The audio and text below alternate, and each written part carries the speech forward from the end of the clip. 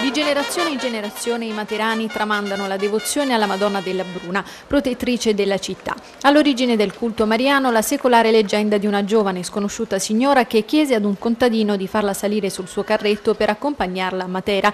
Giunta alla periferia della città, nella zona dell'attuale chiesa dell'Annunziata di Piccianello, scese dal carretto e rivelato al contadino di essere la madre di Dio, domandò di annunciarlo al vescovo. Ricevuto il messaggio, il popolo guidato dal pastore accorse ad accogliere la Vergine Vergine, ma trovata la statua della Madonna, la portò in città su un carro trionfale proclamandola protettrice della città.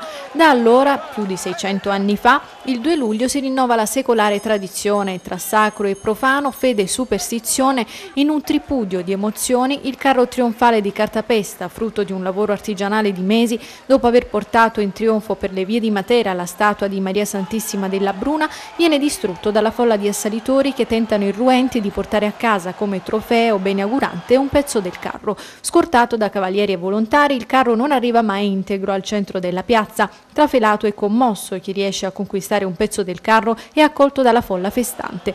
La tradizione della distruzione del carro risale ai tempi dell'invasione saracena, quando i materani, per evitare che il quadro della Madonna venisse distrutto dagli infedeli che assediavano la città, prima lo nascosero su un carretto e poi, messo a riparo il quadro, distrussero loro stessi il carretto.